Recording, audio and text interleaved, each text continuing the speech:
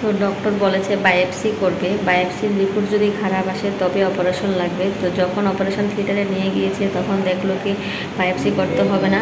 তো ওখানে যে প্রবলেমটা আছে, প্রবলেমটা সলভ হয়ে গেছে। Hello guys, welcome back to my channel. আমার চ্যানেলে তোমাদের সবাইকে স্বাগতম। তোমরা সবাই কেমন আছো? আমিও খুব ভালো আছি। তো অনেক দিন ধরে আমি ঠিক করে ব্লগ দিতে পারছি না। তো আজকে যাচ্ছি আমার মাকে নিয়ে নার্সিংহোমে তো যতটুকু সম্ভব হয় তোমাদের মাঝে দেখানোর চেষ্টা করব। আর যদি রিপোর্ট ভালো আসে, তাহলে হয়তো অপারেশন লাগবে না। আর যদি রিপোর্ট খারাপ আসে, তাহলে অপারেশন লাগবে। তো তোমরা সবাই মায়ের জন্য প্রে করো যাতে রিপোর্টটা ভালো আসে। তো আমি নার্সিংহোমে যাচ্ছি, মায়ের একটা টেস্ট আছে টেস্টটা করাবো। তোমরা পুরো ভিডিও দেখতে থাকো। আর এখন আমি রান্না বসিয়ে দিলাম। ছেলেকে স্কুলের জন্য রেডি করছি। ছেলেকে রেডি করে দিয়ে আমরা রেডি হয়ে যাব। তো সকালবেলা সাড়ে সাতটার ভিতরে নার্সিংহোমে যেতে হবে। আর নার্সিংহোমের জন্য আমি ব্যাগ রেডি করে নিয়েছি। সকাল পাঁচটার থেকে স্টার্ট করেছি কাজ। সকাল পাঁচটা থেকে মায়ের ব্যাগ রেডি করা, ছেলের স্কুলের জন্য রেডি করা, তো শুরু করেছিলাম। তো ঘুমটাও ঠিক করে পড়ে নিই। তারপরও চেষ্টা করছি ঠিক করে ব্লগ বানাতে পারছি না বলে একটা ব্লগ নিয়ে আসব তোমাদের মাঝে। অনেক দিন ধরে আমি ঠিক করে ব্লগ দিতে পারছি না।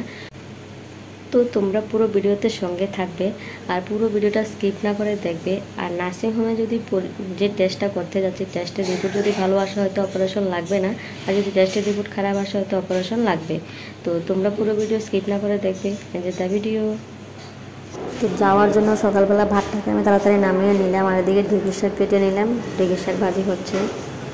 ঢেঁকি শাক ভাজিটা হতে একটু লেট হবে বলে আমি একটা আলু ভেজে নিলাম ছেলের জন্য। তো স্কুলে যাবে আলু ভাজি দিয়ে ওকে ভাত দিয়ে দিলাম। তো ওকে ভাত খাইয়ে দিচ্ছি যাতে তাড়াতাড়ি করে ওকে খাইয়ে দিয়ে আমরা রেডি হতে পারি। কারণ ওকে ভাতটা দিলে একটু লেট করে। তো ওকে আমি খাইয়ে দিলে তাড়াতাড়ি খাওয়াটা হয়ে যায়। আর সাতটার ভিতরে ওর স্কুল বাস চলে আসবে। তো স্কুল বাস যখন আসবে, আমাকে তাড়াতাড়ি খাইয়ে দিয়ে তারপরে আমাদের রেডি হতে হবে। আর এদিকে ঝটফট করে ওকে খাওয়া শেষ হয়ে গেলো। এদিকে আমাদের রান্না মোটামুটি কমপ্লিট হয়ে গেল। আর এদিকে আমরা রেডি হয়ে গেলাম। আর ব্যাগ নিয়ে বের হব। এখন ব্যাগ রেডি করে সোফাতে রাখলাম। তো আমরা চলে আসলাম হসপিটালে আর যখন হসপিটালে আসলাম, মা খুব কান্নাকাটি করছে, খুব ভয় ভয়ে মা খুব কান্নাকাটি শুরু করে দিল। তো মাকে সান্ত্বনা করলাম এদিকে এদিকে ডক্টরও চলে আসলো। আমাদের বলল সাড়ে সাতটার ভিতরে আসতে। তো আমরা যখন আসলাম, তখন আটটা বেজে এসেছে। আর এদিকে মাকে অপারেশন থিয়েটার থেকে যখন বের করেছে, তখন মা শুয়ে আছে। তখন আমরা একটু খেতে গেলাম। আর যখন খেতে গেলাম, তখন খুব বৃষ্টি হচ্ছে। তো এদিকে জুলন জুলন যাত্রা জুলন যাত্রা স্টার্ট হয়ে গেছে। আর এদিকে জগন্নাথ বাড়িতে খুব বড় করে মেলার আয়োজন করা হয়েছে। রাস্তার দুপাশে অনেক দোকান নিয়ে বসেছে তো জীবনযাত্রার জন্য সবাই যখন দোকান নিয়ে বসে, আমাদের কাছে খুব ভালো লাগল। আমরা একটু বুট বাজার নিয়ে নিলাম মায়ের জন্য। আর এদিকে আমরা টিফিন করে নিলাম, কারণ সকালবেলা আসলাম, নার্সিংহোমে কিছু খাইনি। তারপরে খুব বৃষ্টি হচ্ছে, আর এদিকে মায়ের জন্য একটু বিস্কিট নিলাম। আর বৃষ্টির ভিতরে আমরা দু বোন হেঁটে হেঁটে আসছি। যখন আমরা টিফিন খেতে গেলাম, তখন খুব বৃষ্টি ছিল, আর এখন অনেকটা কমে গেছে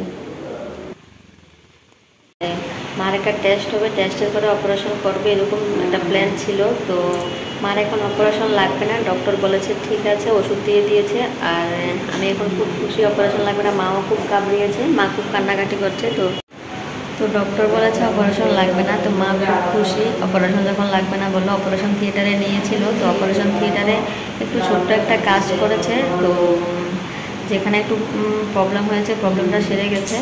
তো যাই হোক অপারেশন লাগবে না বলল ডক্টর মা এখন খুব ভালো আছে, খুব সুস্থ আছে, তো আমার কাছে খুব খুশি লাগছে মা সকাল থেকে ঠাকুরের খুব, ঠাকুরকে খুব ডাকছে।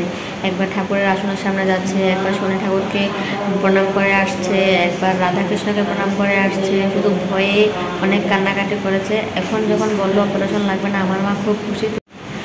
তো অনেকে আমার মায়ের জন্য প্রেও করেছে ভালো থাকার জন্য।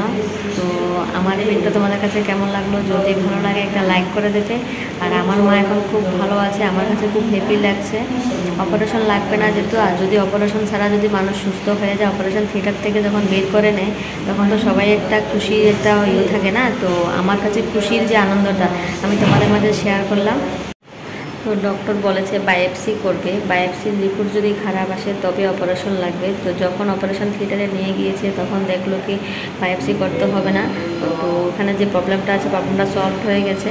আর অপারেশনও লাগবে না, বায়োপসিও লাগবে না। তো অপারেশন থিয়েটারে ছোট্ট একটু কাজ করল, যে জায়গাটা একটু প্রবলেম ছিল, ওই জায়গাটা একটু পরিষ্কার করে দিয়ে, ওই জায়গাটাকে ঠিক করে দিয়েছে। তো ওটা এখন এভাবে সুস্থ হয়ে যাবে বলল। তো আমার মা এখন খুব খুশি হয়েছে। আর কার কার এরকম হয়েছে যে, অপারেশন থিয়েটারে নিয়ে গিয়েছে, যে কাজের জন্য নিয়ে গিয়েছে, ওই কাজ করতে হলো না। ওষুধের দ্বারা ভালো হয়ে যাবে বলল। তো কার কার সঙ্গে এরকম হয়েছে অবশ্যই কমেন্টে জানাবে। আজকের মতো ভিডিওটা এখানে শেষ করলাম। সবাই ভালো থাকবে, সুস্থ থাকবে। আর আমার মায়ের জন্য সবাই যে প্রে করেছিল, সবাইকে অসংখ্য অসংখ্য ধন্যবাদ। কাল আমি লাইভেও বলেছিলাম, আমার মা অসুস্থ, তো অনেকে বলেছে মা যেন তাড়াতাড়ি সুস্থ হয়ে যায়। তো সবাইকে আমি আমার তরফ থেকে অনেক অনেক ধন্যবাদ জানাই। হয়তো তোমাদের প্রেয়ের কারণে মায়ের অপারেশন করতে হলো না। তো আজকের মতো ভিডিওটা এখানে শেষ করলাম। সবাই ভালো থাকবে, সুস্থ থাকবে। থ্যাংক ইউ বাবাই